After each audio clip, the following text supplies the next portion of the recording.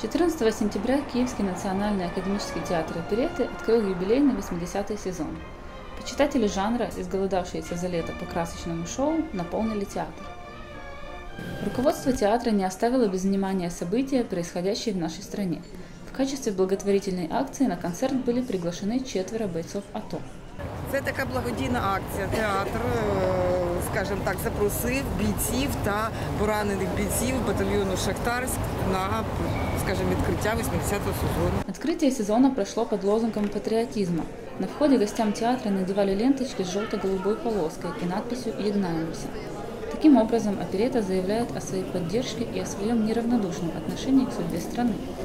Также организаторы гала-концерта приготовили для гостей красочные предсказания. Каждый желающий мог узнать, что ожидает его в будущем. Скоро майже всі твої бажання збудуться. В новом сезоне театр порадует зрителей нововведениями.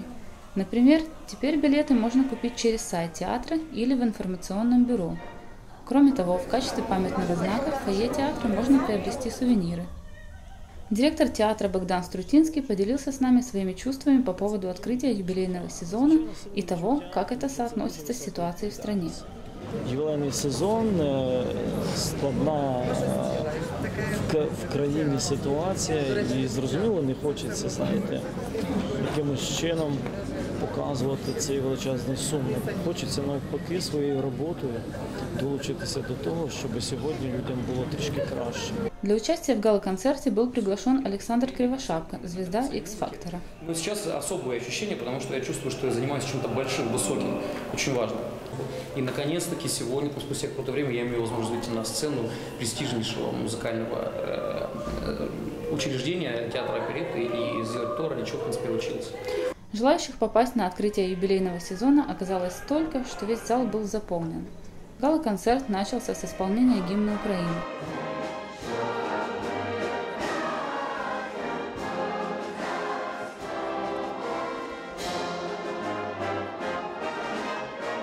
После чего были представлены номера из разных спектаклей. Роман с Малатеста из оперы Доницетти «Дом Паскуали» исполнил Петр Остапенко, стажер Академии театра Ласкала. Арию мистера Икс из оперетты Кальмана исполнил Александр Кривошапка.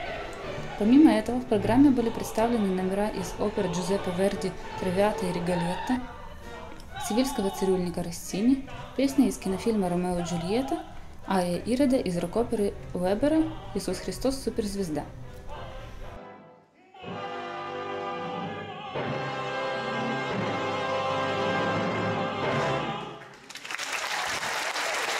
Гала-концерт удался на славу. Восторженные зрители поделились с нами своими впечатлениями. И игра, и музыка, и, и костюмы, и все. Мы не ожидали такой, такой грандиозности прекрасной. Вообще очень понравилось. По сравнению с прошлыми гала-концертами, репертуар немножко освежили, обновили, но новые номера стали вводить. Очень интересно, актеры супер. Очень много молодых исполнителей, очень красивых, очень талантливых, мы с вами не киевляне.